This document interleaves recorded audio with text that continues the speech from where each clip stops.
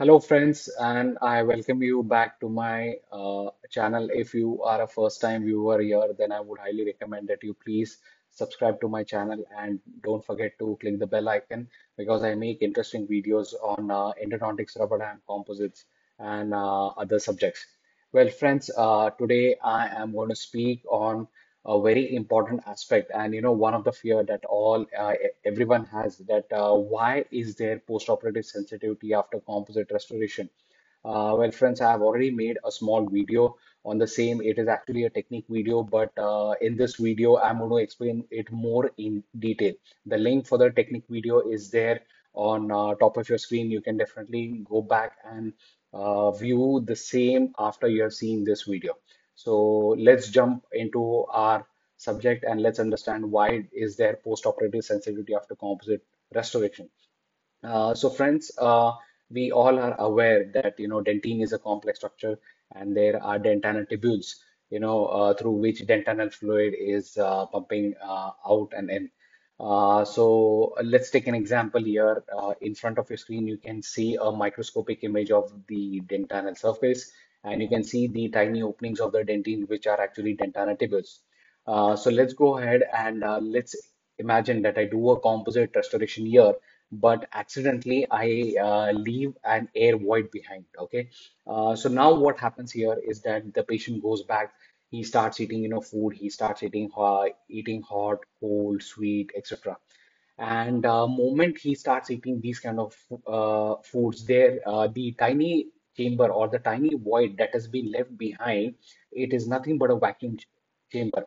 So uh, the there is going to be some amount of pressure changes that will be present in this tiny vacuum chamber.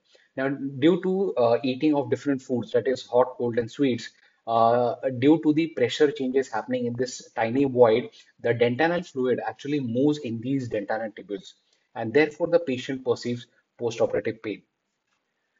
On the contrary, before placing uh, my composite increment on the tooth surface, in case if I seal these dentine first, then even if I leave an air void behind, the patient is not going to experience pain because the dentinal tubules are already sealed.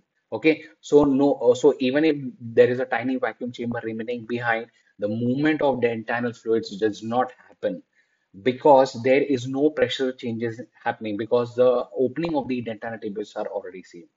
Okay, so to give you a small percept, uh, perspective of the same, you can you actually see the image on the left hand side of your screen where a composite filling has been done and there is a tiny air void left behind. This is again a pressure chamber and it is going to cause some kind of uh, you know uh, post-operative pain.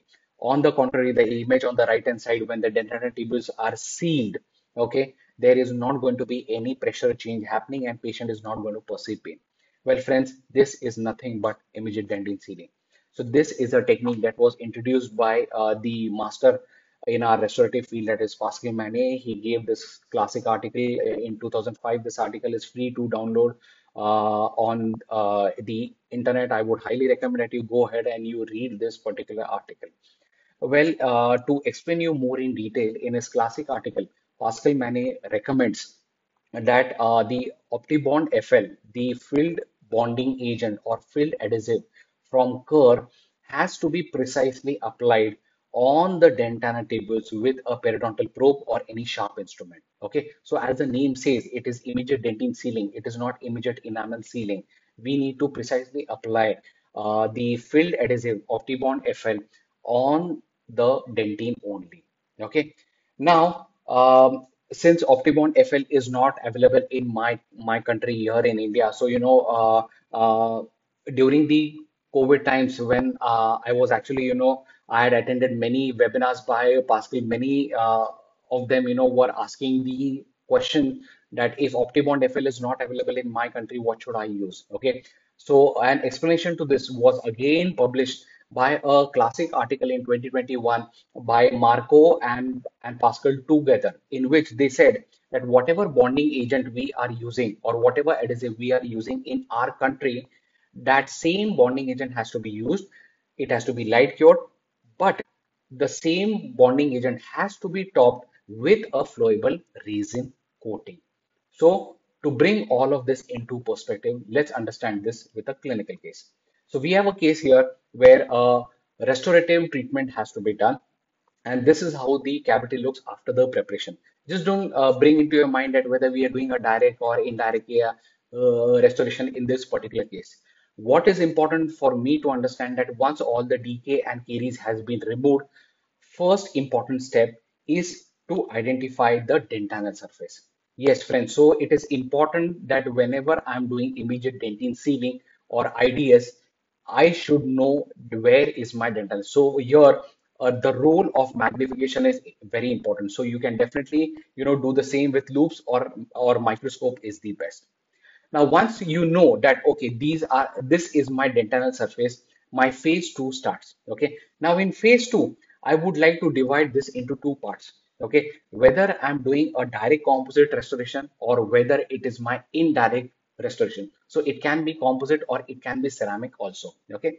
So now first and foremost, let's discuss about the direct thing. Okay. So now when it comes to etching, Okay, for a direct composite restoration, we are always following the selective etch technique where we are placing the etchant first on the enamel and we wait for 20 seconds for the enamel to get etched.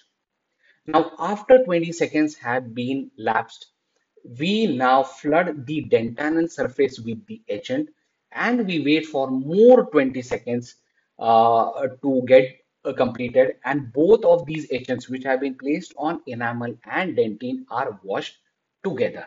So this is about a selective etch technique that we do for a direct composite restoration. Well, when it comes to indirect restorations, then we are going to only etch the dentinal surface for 20 seconds. Okay, friends, please note that at this particular stage, when you are doing indirect restorations, do not etch the enamel because etching of the enamel is going to come later during the bonding appointment. So at this stage, we are only doing immediate dentine sealing for which I'm going to etch only the dentine for 20 seconds. Once uh, the etchant has been thoroughly washed, it is effectively air dried. We now come to the adhesive application. Now again, I have simplified this into two parts, direct and indirect. Okay. Now when it comes to my direct composite restoration, I am going to place my adhesive on the enamel and dentine together. Okay, so now whatever adhesive that is available in India, whatever bonding agent I am in my country, I am going to place it on the enamel and dentine both, and I am going to apply it and light cure it according to the manufacturer's recommendation. Now, as per recommendation by Pascal Magne and Marco in from the classic article in 2021, they highly recommend that whatever bonding agent was applied on the dentine to improve its bond strength and to seal the dentine effectively, we are going to give a small layer or small coating of flowable composite on dentine only. Now, friends, here it is important that you place this flowable coating only on dentine. Okay, don't place it on enamel. And uh, once this has been completed, then I move on to my composite placement uh, by whatever technique you can be doing. Well, now friends, for the indirect restoration, the story is slightly different. Now here, I would be placing my bonding agent only on the dentine.